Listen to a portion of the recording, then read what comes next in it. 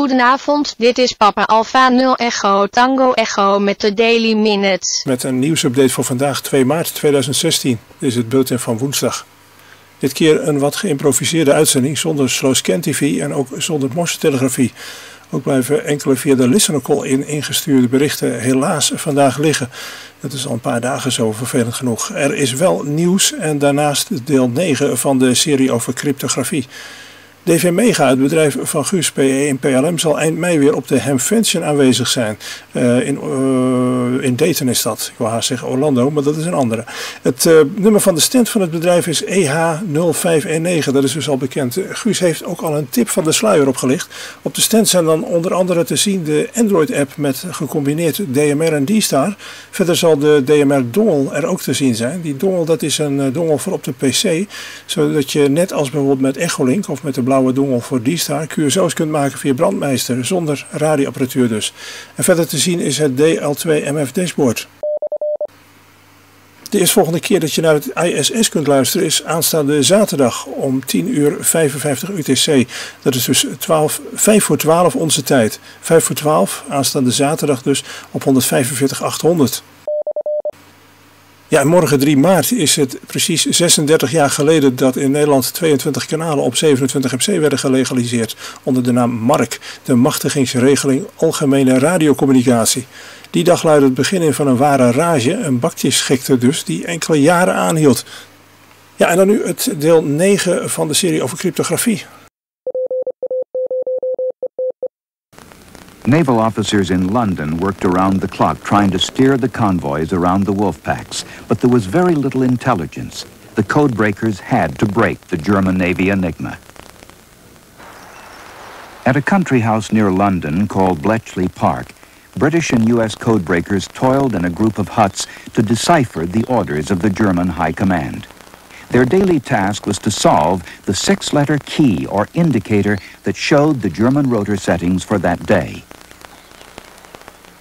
One of them was Arthur Levenson of New York.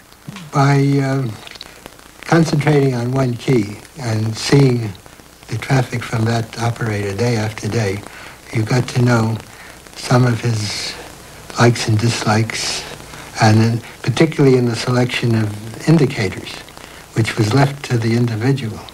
And certain individuals tended in certain directions. Some engaged in uh, obscenities, which were helpful. Some were fans of uh, American movie stars. And uh, in one case, the outside indicator was Tom, and we thought the uh, maybe the inside Tom Tom. But turned out it was Tom Mix who fortunately had a six-letter name. Two Cambridge mathematicians, the eccentric genius Alan Turing, often regarded as the father of the modern computer, and Gordon Welchman had devised a machine to test the possible settings of the rotors. The machine was essentially a stack of 12 three-rotor Enigma wheels which tested possible combinations. Eventually, the British had 60 of these machines running 24 hours a day. Without them, the breaking of Enigma would have been impossible. There were thousands of intercepts a day. They already had great success with the Luftwaffe and Army codes, in part because the German operators selected their own keys. But in the German Navy, the keys were rigidly laid down on a monthly sheet. The U-boats continued to devastate the convoys. Then a young Bletchley codebreaker, Harry Hinsley, suggested a plan. A naval task force from the base at Scapa Flow in Scotland would race north to ambush a German weather ship in hope of capturing the monthly key sheet. It worked.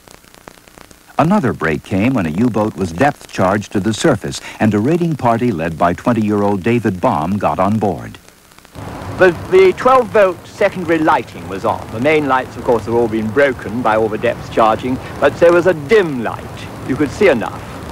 Um, and it was very quiet, no generators running like you have in a ship all the time, hum, no hum, deathly silence, just the uh, hissing, a nasty hissing noise coming out of the batteries, presumably, um, gas escaping, and then the rolling to and fro to Atlantic swell, the plop of the sea. By far, of course, the most important thing was the Enigma machine. And there it was, screwed to the cable alongside the wireless set. And um, of course we didn't know what it was. We knew it had something to do with um, decoding because it was a typewriter, looked like a typewriter. And um, my telegraphist, always carry a telegraphist in an arm boarding party, he had a screwdriver, he unscrewed it, we passed it up. And of course the miracle was it wasn't dropped overboard. Bletchley Park could now read the U-boat signals, and the vital shipping saved during this period kept Britain fighting. Then in February 1943, Dönitz introduced a new four-rotor Enigma to be used only by the U-boats. Once again, Allied code breakers were blacked out, and the U-boats again wrought havoc among the ships.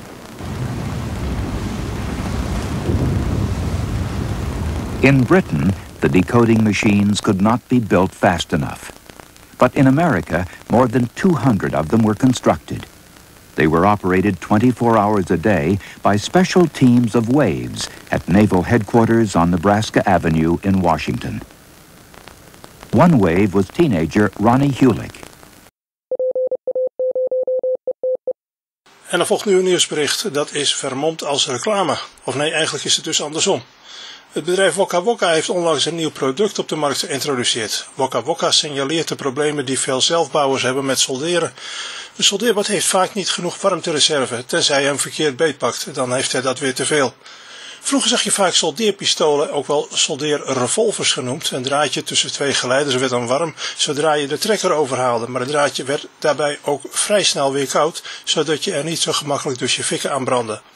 Wokka heeft de voordelen van deze beide apparaten, dat wil zeggen de soldeerbout en de soldeerrevolver, gecombineerd en dat aangevuld met een voldoende grote warmtereserve, zodat je zelfs die dikke ijzeren plaat onder je antenne nog moeiteloos aan zo'nzelfde plaat kunt vastsolderen van bijvoorbeeld de antenne die ernaast staat.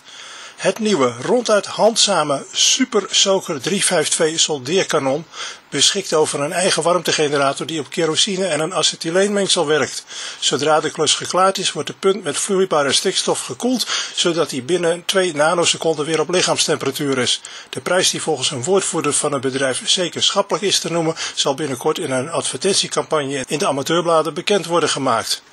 Wokka Wokka raadt overigens aan om voor aanschaf van het apparaat na te gaan of in de omgeving waar u woont voor gebruik en bezit van het apparaat niet een wapenvergunning nodig is. Daily Minutes zijn dagelijks om 1900 uur te beluisteren op PI2 NOS en s ochtends om half elf. Verder zijn de uitzendingen onder andere te beluisteren op youtube.com schuine PA0ETE. Heb jij nog een staande golf over? Waar wil je hem voor gebruiken? Nou er is een poot van de salontafelstuk en volgens mij past de staande golf op 2 meter daar precies tussen. Daar heb je dus echt niets aan. Zodra ik de microfoon loslaat valt die tafel gewoon om. Nou dan pak ik wel drie staande golven voor 70 centimeter. Dat past ook. Heb jij nog een postelastiek waarmee ik de PTT van deze LPD Porto kan vastzetten? Ja die heb ik nog wel. Als dat maar goed gaat met die 10 milliwattjes.